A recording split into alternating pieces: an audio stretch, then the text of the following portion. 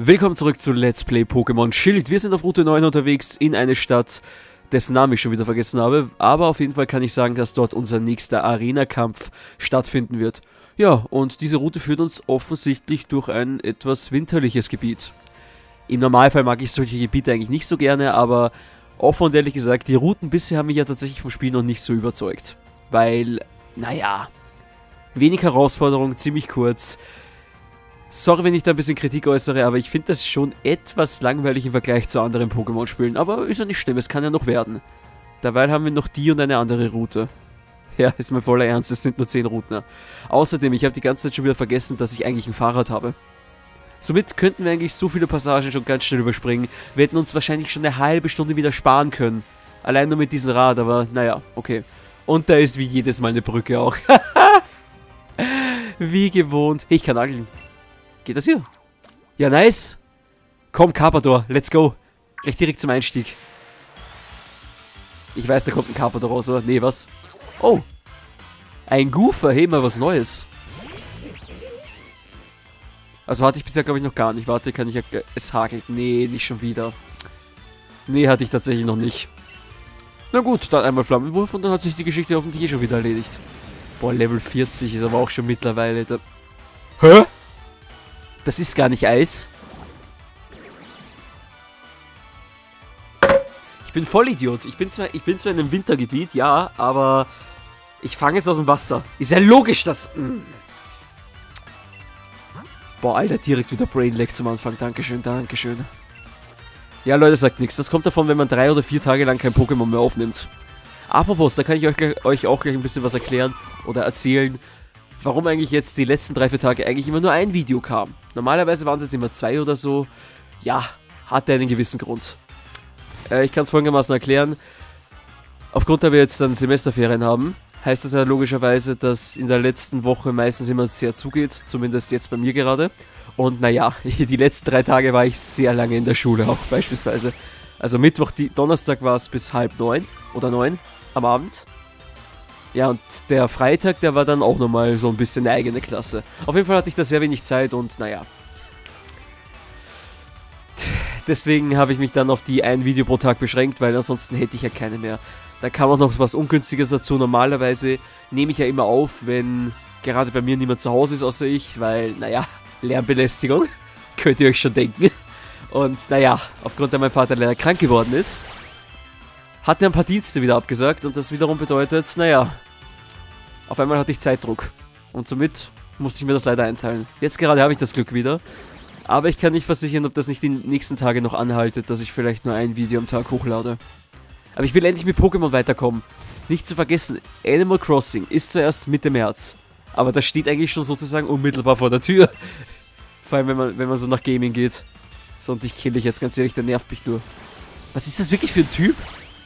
Ja, okay, der hätte ich jetzt nicht töten sollen, hätte ich es fangen sollen. Mann. Aber ich glaube auch, wenn ich es nicht fange, sollte es ja danach schon angezeigt werden. Magenkrempler von Goof, Goofer wirkt. Hä, was macht der? Äh. Hat das jetzt irgendwer gecheckt? Nee, oder? Okay, ich auch nicht. Nein, immerhin. Okay, gut, links werde ich nicht mehr fangen, das ist mir ein bisschen zu riskant. Aber hier muss irgendwas sein, weil sonst wird die da nicht stehen. Ja gut, ich kämpfe einfach mal. Mein Trainer sich begegnen wird gekämpft, so einfach ist das. Aber, wie, aber ich werde auf jeden Fall versuchen, diese Aktivität wieder beizubehalten. Ich meine, normalerweise sollte ich mich eigentlich gar nicht beschweren. Ihr kennt meine Vergangenheit. Da hatte ich Tage, da war ich froh, dass ich überhaupt meine Woche täglich was hochgeladen habe. Und was machst du jetzt? Ein Monat lang fast zwei Videos am Tag. Hallo? Das ist ja komplett eine andere Liga. Hatte ich von mir selbst nicht erwartet, dass das so gut ist. Ich hoffe aber jetzt mal, das ist wenigstens mit Wasserdüse. Danke, okay, ich kann gleich direkt wieder wechseln. Ich weiß, wie das ausgehen wird, nicht wahr? Jupp, wie nicht anders zu erwarten. Obwohl, vielleicht klappt es ja mit Next Strike. Ich probiere es einfach mal. Boah, dieser Hagel. Ätzend wie nichts anderes. Knirscher, ja, dankeschön. Ha! Hat er seinen Zweck erfüllt. Ah, Verteidigung sinkt. Ah, okay. Das ist schon etwas dumm. Aber der Next Strike klärt für uns. Beste Combo überhaupt. Funk der Flammenwurf nicht automatisch Next Strike und Rest in Peace.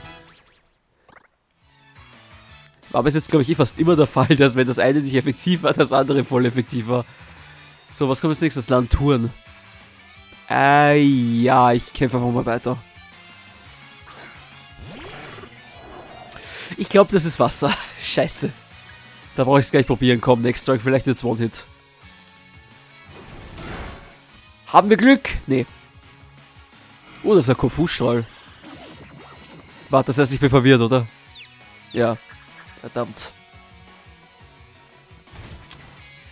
Und so wie ich mein Pech kenne, werde ich jetzt wahrscheinlich mir selbst Schaden machen. Ach, die haben wir doch getroffen. Ja, lol. Skunting macht sich Sorgen. Hey, warum denn? Ist doch alles locker easy. Außer wenn das jetzt äh, mich selber hittet. Ja, okay. Ich habe nichts gesagt. Boah, Mann, warum was da... Ja, jetzt kommt Paralyse auch noch dazu, nicht wahr? Oh je. Ich glaube, da ist mal ganz schnell eine Heilung nötig. 28, nee, das überlebt er nicht. Ich gehe auf Nummer sicher.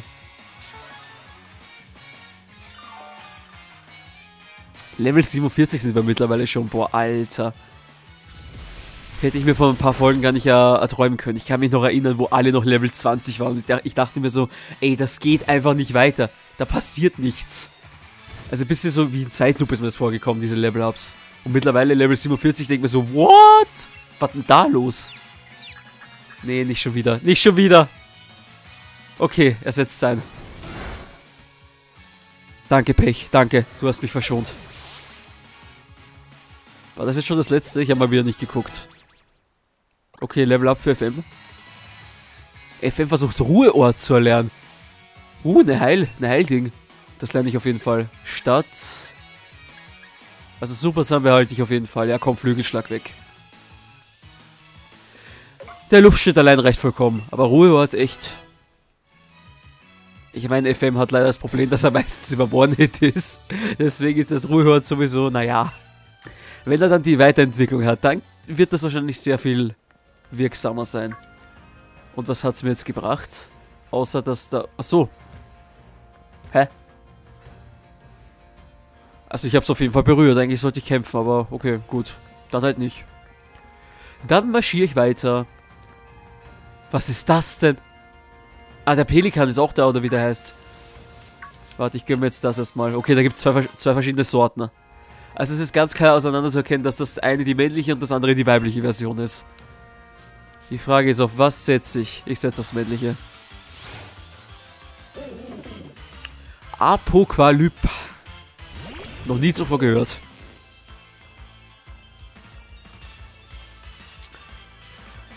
Skuntek würde... Hä, was? Das habe ich jetzt gar nicht lesen können. Ja gut, wie dem auch sei. Schauen wir mal, was der Kerl kann. Ja, okay, das ist schon mal nicht effektiv, verdammt. Setzt Lake ein. Okay, gut, das, ist, das sollte Erklärung genug sein. Und das Hagel kommt auch noch dazu, verdammt. Ah, Was mache ich denn da? Ja, komm. Warum nicht? Habe ich schon länger nicht mehr eingesetzt. Genesung hat der drauf. Hell. Hast du dir vom YouTube abgeguckt? Ich weiß, aber trotzdem, das ist gerade etwas... Also jetzt bin ich schon etwas überrascht. Das war gerade eine nicht so geile Surprise, aber gut. Okay, da, ist er vielleicht sogar nützlich dafür später. Ich werde mir überlegen, ob ich den fange. Oh nee, nicht mal Kreuzschere hat irgendwas. Und wieder Genesung, als ob das so einer ist, der was nur Genesung einsetzt. Ich hasse ihn. Ja, super, als ob du das wirklich vorhast. Aber er wird auch verletzt. Habe ich irgendwas für Angriffssteigerung auf die Schnelle? Hebt den Spezialangriff als Pokémon den Kampf stark an. Die Wirkung wird in dem Austausch... Ja, okay, ja, das brauche ich jetzt eigentlich nicht. Ne, gibt es irgendwie so eine Frucht, so eine Beere. KP, AP füllt das. Äh, erwacht das durch zum Schlaf. Ja, ja, ja. Hey, brauche ich alles nicht. Verbrennung, eingefroren, Status... Ach, ich habe da gar nichts dafür. Witzlos. Ja gut, dann muss ich das wohl, wohl oder übel doch einsetzen.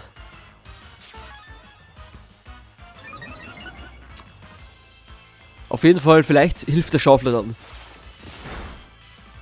Uh, shit, okay, jetzt muss ich aber echt schnell sein. Weil sonst ist es zu spät. Also Sonst habe ich auch unnötig eine Kapsel auch noch verschwendet, okay. Einmal Schaufler, enttäusch mich nicht. Fäbe Cooler darf auf jeden Fall als erstes ran. Das ist schon mal was Gutes. Er setzt echt wieder Genesung an, ey, so ein... Nee! Ich sage jetzt nicht das, was ich sagen will. So ein Langweiler, der, der, der kostet mir nur wieder Zeit. Ja, schau dir das mal an. War irgendwie so klar, oder?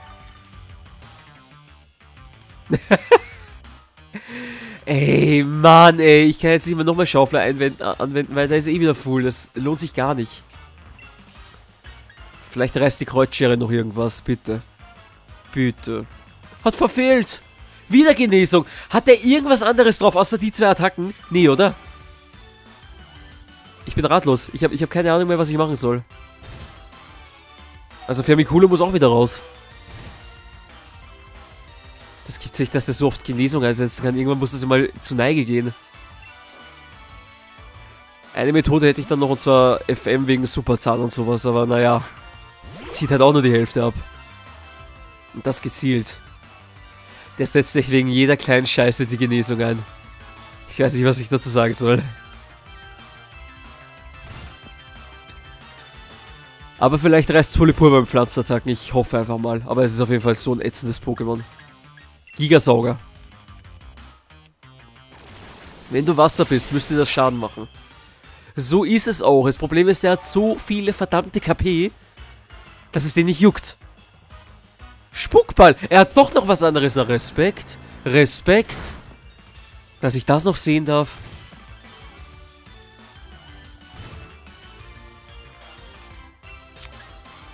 Aber ätzend ist er auf alle Fälle.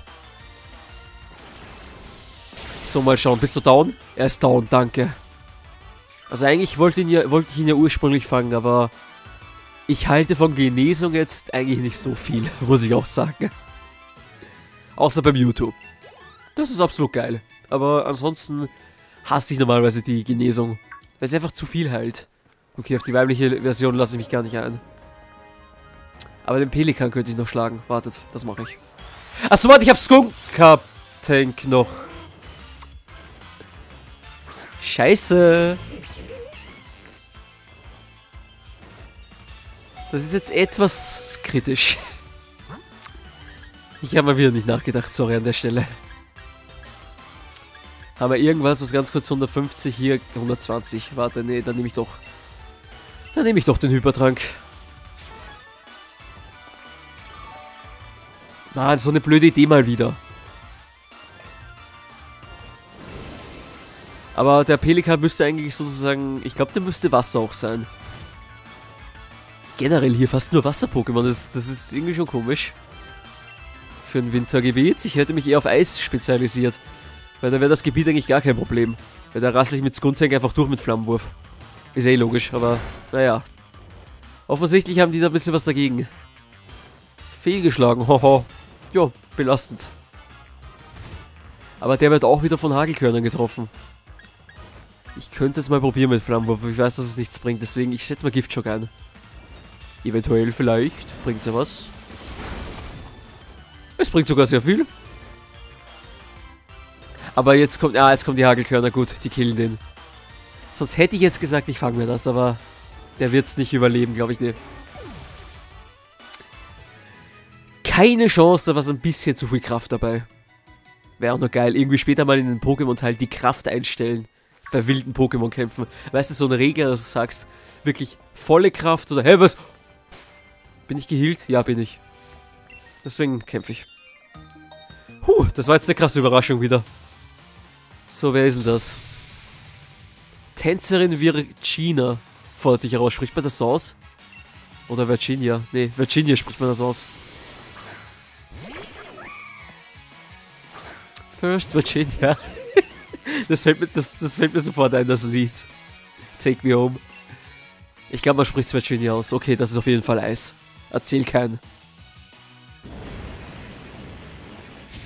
Komm, mach viel Schaden. Genau, das ist Eis. 300%. War so klar. Wie viele Points? Ah, 300. Okay, es war tatsächlich eins der schwächeren Sorte. Alter, wo krieg ich schon wieder Hagelkörner ab? Bluebella. Ist Pflanze. Ja gut, weiterkämpfen.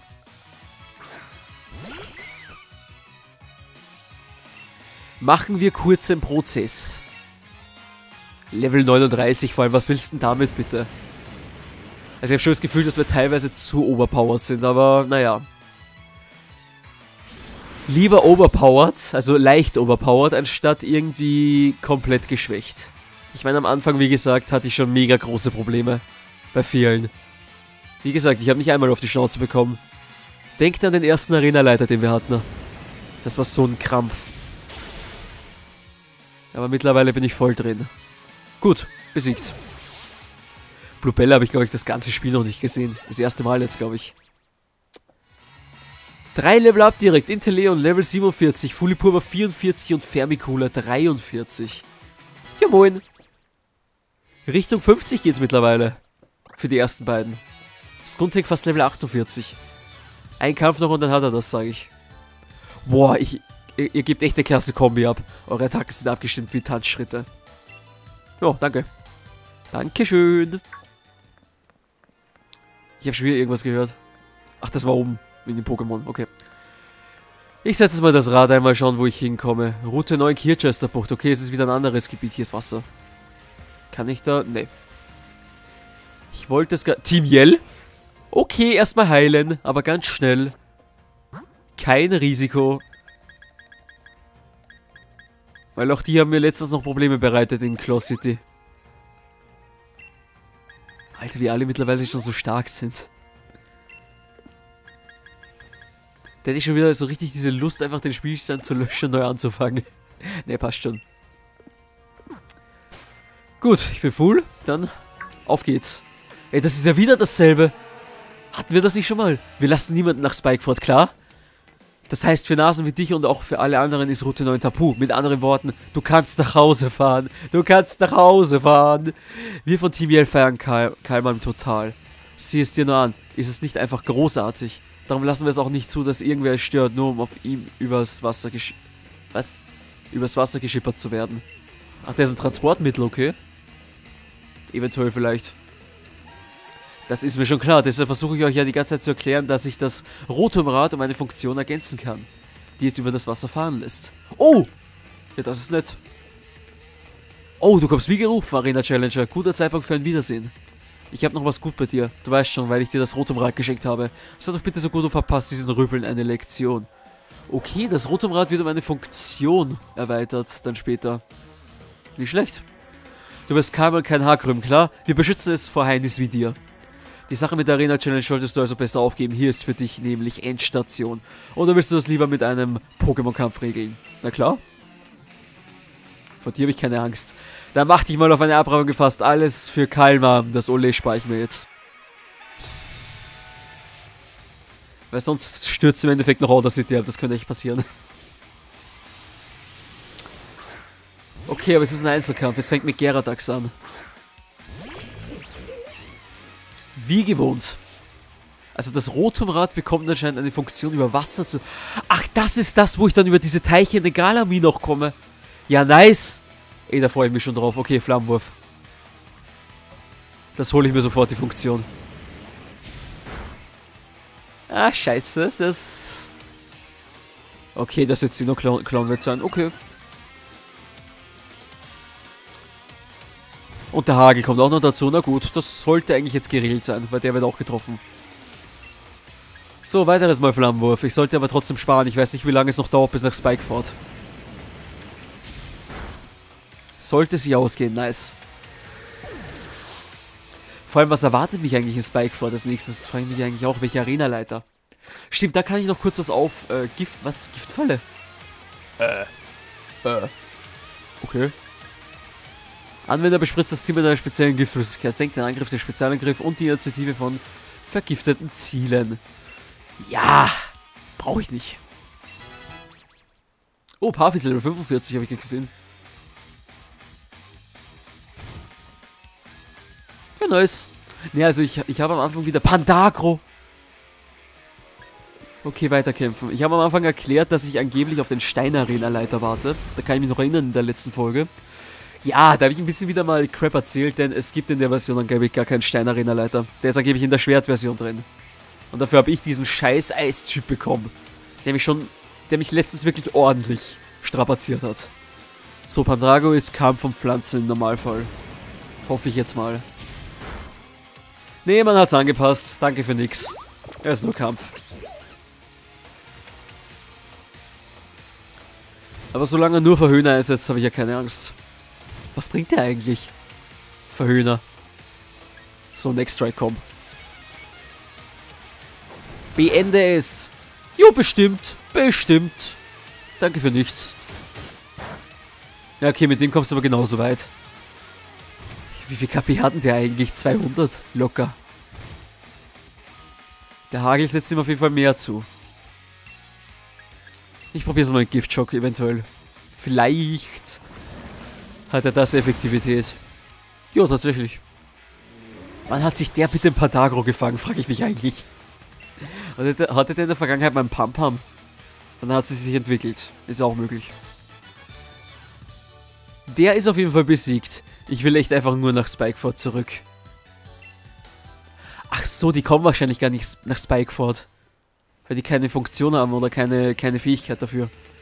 Wenn wir nichts unternehmen, wird der da auf dem Kanal reiten. Ne? Kamalm. Auf dem Kanal reiten, genau. Hey, ich hab die Idee. Wir reiten einfach selbst auf Kamalm und machen uns vom Acker. Dann mal los, Kalmam. Auf Nimmerwiedersehen, Arena Challenger. Ich glaube, der hat auf das nicht so Bock. Jo. Verpasst. Oh nee, warte. Ach, schade. Die sind echt entkommen. Puh, da hast du mir noch glatt schon wieder aus der Patsche geholfen. Wie läuft's da so? Genie genießt du das Leben als Radfahrer? Wäre doch toll, wenn man mit rotem Rad auch übers Wasser fahren könnte, oder? Tja, du hast Glück, denn damit du genau das tun kannst, werde ich es etwas für dich modifizieren.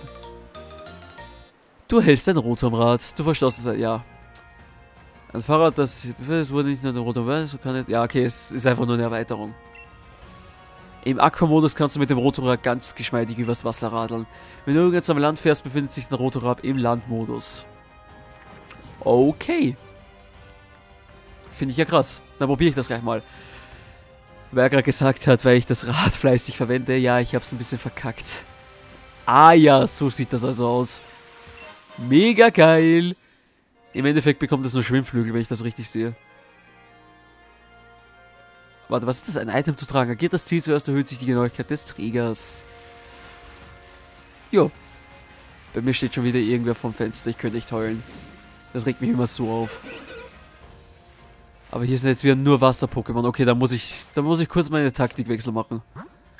Äh, wo habe ich? Äh, natürlich wieder rausgehen. Wer kennt's nicht? Achso, ich bin in der falschen Ding drin. Das setze ich nämlich jetzt einfach mal Fully Purba an erster Stelle. Ich gehe kein Risiko ein. Pflanzattacken sind sehr effektiv, ich weiß. Aber wo muss ich da jetzt hin, ist die große Frage. Hier ist überall... Oh Gott! Was ist das denn? Das ist ein reines Labyrinth. Ist das ein Wasserding? Oh nee, in dem Gebiet, wir werden so lange verkackt. Sind das auch Kämpfe? Was ich hier bestreite? Nee. Na, was sagst du zu meinem Geheimstrand? Er ist ein wunderbarer Paradies inmitten des kalten Ozeans. Klein, aber fein. Da du extra hergekommen bist, habe ich ein Geschenk für dich. Okay. Oh, da ist ein TM versteckt. Taucher. Anwender taucht in Runde 1 ab und greift in Runde 2 aus der Tiefe an. Okay, ist ein bisschen wie Schaufler, nur die Wasser-Edition. Mit der Taucher können Pokémon ins Wasser abtauchen, wo sie vor gegnerischen Angriffen sicher sind. Fast wie hier an meinem kalten abgelegenen Strand. Ja! Also wenn ich die da angucke beim Winter, so rumlaufen, der Held, der wird mir gleich direkt kalt. Tauchball. Ach, für die Wasser-Pokémon. Ja gut, dann gehen wir weiter. Ich habe keine Ahnung, wo ich genau hin muss. Ich werde so safe in den Kampf verwickelt irgendwie. Was ist das da wieder für ein Gang? Warte, ey, ey, Rad, Rad, Rad. Wie kannst du das bitte steuern? No joke. Das Rad ist nicht ein kompletter Witz.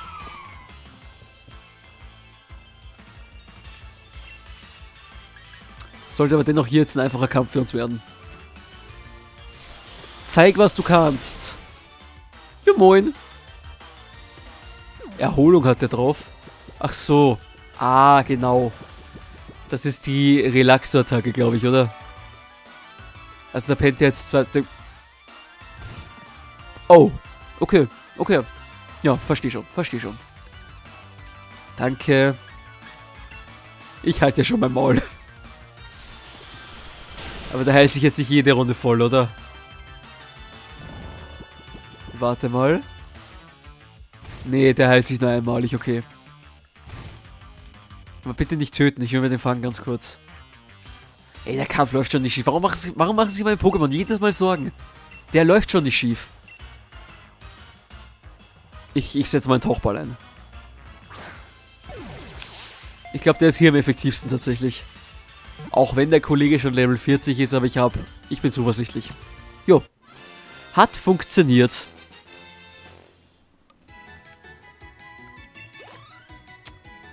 Boah, Mann, aber die KP, äh, die, die, die, die XP-Ausbeute ist mal wieder ein bisschen schlecht. Leider. Leider! 130 Kilo wiegt der Kollege.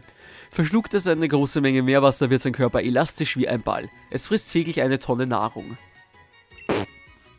Äh, ja. Hungersnot incoming. Alter, eine Tonne am Tag, wirklich jetzt? Krass. Na gut, ab in die PC-Box. Hammer den Kollegen auch, aber was ist das hier für ein Gang? Ich sollte aufpassen. Okay, hier ist wieder ein TM. Steinhagel. Steinattacke. Nice. Schleudert riesige Felsen auf gegnerische Pokémon, die eventuell zurückschrecken. Okay, wird eine, wird Attacke sein, die ich jetzt nicht unbedingt zwingend brauche, aber bitte. Eine nette Erweiterung ist es trotzdem. So, haben wir wieder das da. Mir ist gerade was runtergefallen, nicht wundern. Meine Wasserflasche. Hey, was ist das jetzt? Wo bin ich hier? Hä? Ich muss kurz mal auf die Karte gucken, ich habe null Plan. Ach, ich bin jetzt... Warte. Achso, ich bin schon den richtigen Weg gelaufen. Ich dachte, ich wäre... Warte, kämpfe ich gegen die eventuell? Ja. Okay. Wollte ich jetzt eigentlich nicht, aber ich wollte kurz überprüfen, weil die vorige hat ja nur gelabert. Ach du Scheiße, Farbe einmal gefallen. Schon wieder. Was hatten die drauf? Agostrella. Das sieht stark nach keine Ahnung was auch immer aus. Es gefällt mir auf jeden Fall nicht. Es hat Stacheln. Sehr fiese Stacheln. Bunker. Schützt sich selbst, sehr super. Mhm. Ich hab's befürchtet. Warum auch immer. Aber Schaden nimmt er trotzdem, also bitte. So, nächster Gigasauger. Dein Ernst? Wenn du das jetzt die ganze Zeit durchziehst, dann hasse ich dich jetzt schon. Ich glaube, ich wechsle aufs Grundkapur, weil der hat... Na, scheiße. Scheiße, der hat gar nicht mehr Offenlegung. Das habe ich ja verlernt. Mann, nicht wirklich. Sternschauer eventuell. Ja, okay, jetzt darf ich als erstes. Danke. Giftschog. Ja, okay, ist sehr effektiv, aber zieht trotzdem nicht allzu viel ab. Welches Level ist denn der überhaupt? 39 wieder. Ich glaube, es geht sich aus, Gigasauger. Bitte, kein Bunker. Ja! Nice, jetzt bist du geschlagen. Hä? Warum denn? Das ist doch Wasser, hätte ich gedacht. Oh shit. Jetzt wird's kritisch.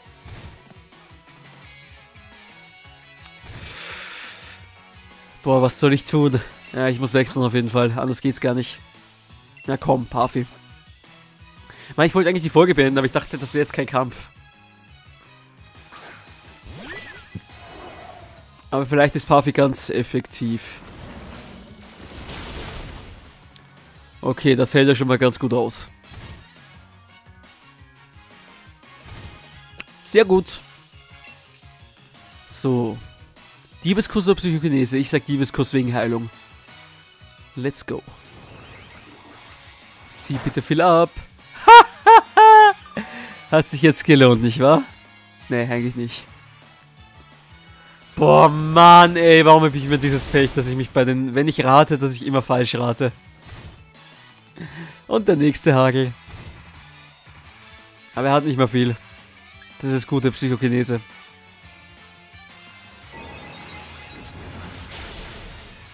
Das hat sie mir jetzt gegeben und das war sogar effektiv. Ja, nice. Ich hoffe, die hat jetzt nicht noch so ein Pokémon. Nee, das war das einzige. Sind das etwa die Grenzen der Wasser-Pokémon? Nein, es gibt noch so viel auszuprobieren. Aha, auf jeden Fall. Am besten nicht immer Bunker anwenden, weil das ist eine defensive Attacke, die, naja, auf die ich keinen Bock habe. So, da glitzert's. Einmal Top-Elixier füllt die AP aller Attacken eines Pokémon vollständig auf. Das ist eff echt effektiv. So, hier glitzert es auch nochmal. Eine Perle. Sie ist von geringem Wert. Okay, okay, gut. Also, es gibt da drüben aber dennoch etwas zu erkunden, aber das machen wir erst in der nächsten Folge. Wir sehen uns beim nächsten Mal wieder. Bis dahin. Ciao, Leute.